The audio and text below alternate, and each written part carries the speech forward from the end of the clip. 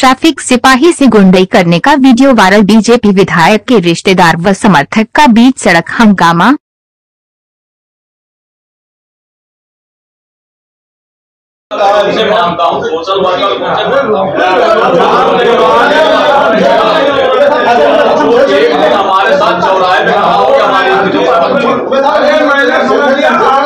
में समझ रहा हूँ इनकी स्थिति ये सही है ये लोग दोपहर में वो करते हैं लेकिन हम लोग भी कोई जो है वो नहीं करते हैं